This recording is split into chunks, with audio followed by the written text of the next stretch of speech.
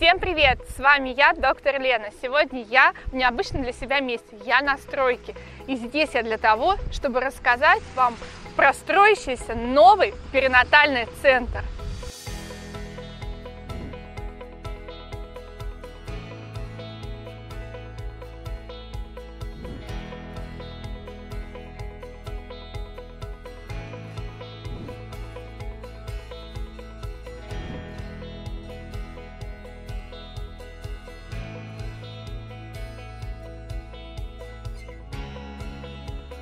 Так, ребят, ну все серьезно. По требованию безопасности на меня надели каску, конечно же, ну мало ли.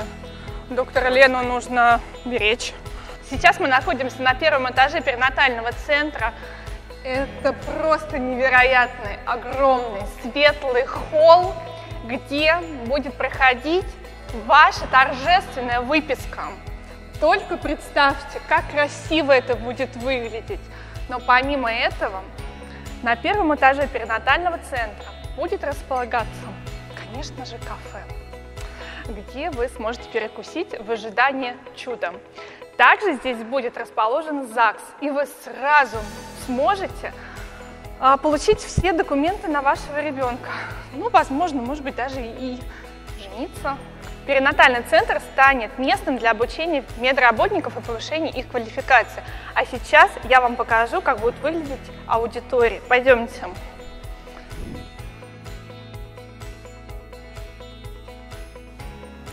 Вот в таких больших и светлых аудиториях будут учиться и повышать свою квалификацию будущие и действующие врачи. Перинатальный центр рассчитан на 140 койко-мест. Сейчас я покажу пример палаты, как она выглядит. Это одна из палат повышенного комфорта. Здесь может находиться мама с ребенком, к ним могут приходить гости. Обращаю внимание, что здесь находится медицинская консоль, к которой можно подключать все необходимое медицинское оборудование. Здесь помещение для гостей. Здесь будет располагаться телевизор, диванчики, все очень комфортно для пребывания мамы, ребенка и ее гостей. А еще здесь есть такая консоль. Здесь можно подойти, вызвать медсестру или врача, заказать себе, наверное, какие-то лекарства. Макдональдс, вот здесь вот такая зеленая кнопочка. Ладно, шучу про Макдональдс, но, возможно, и такое вдруг. Смотрите, здесь есть палата двухместная. Оборудование такое же, как в предыдущей палате, я сказала. Такая же есть медицинская консоль. Палата опять, как мне нравится, зеленого цвета. Не знаю, почему меня привлекает зеленый цвет. Эта палата попросторней, но она оснащена точно так же, как и предыдущие палаты. Сейчас мы находимся на четвертом этаже. Здесь находятся две операционные, я хочу вам их показать. Операционная очень большая, светлая, приятного зеленого цвета, что не может не радовать, но меня радует. Здесь будут завозить пациентов. Хочу обратить ваше внимание, что все на автомате. Здесь сенсорная дверь, вот так будет подходить медперсонал с пациентом, и на каталке сразу дверь автоматически будет открываться, и завозить пациентов в эту операционную. Операционная оборудована современной европейской техникой, можно сказать по последнему слову технологиям.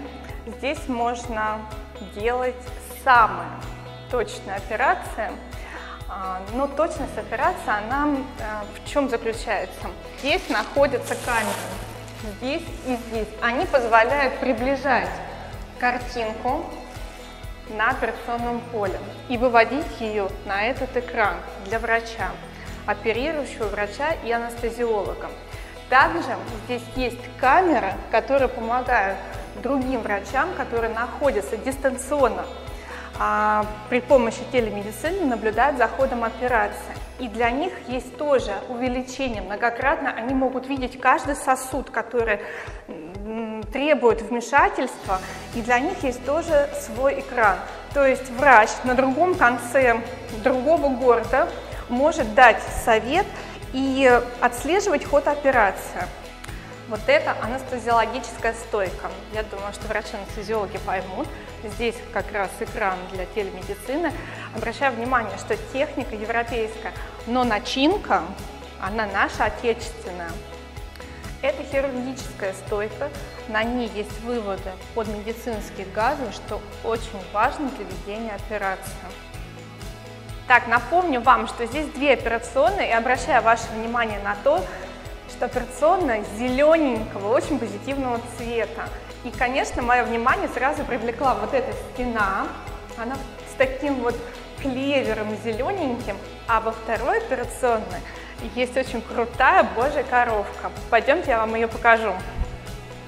Так, это вторая операционная, она ничем не отличается от первой операционной, тут такое же оборудование.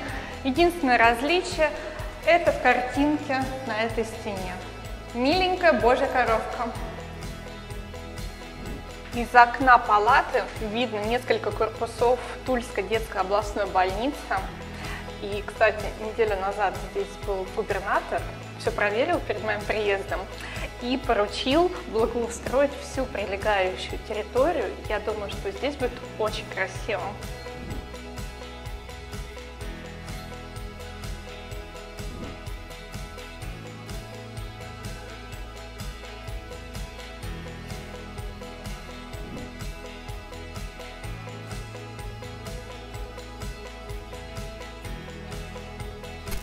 Ну что, моя экскурсия по строящемуся будущему перинатального центра закончена.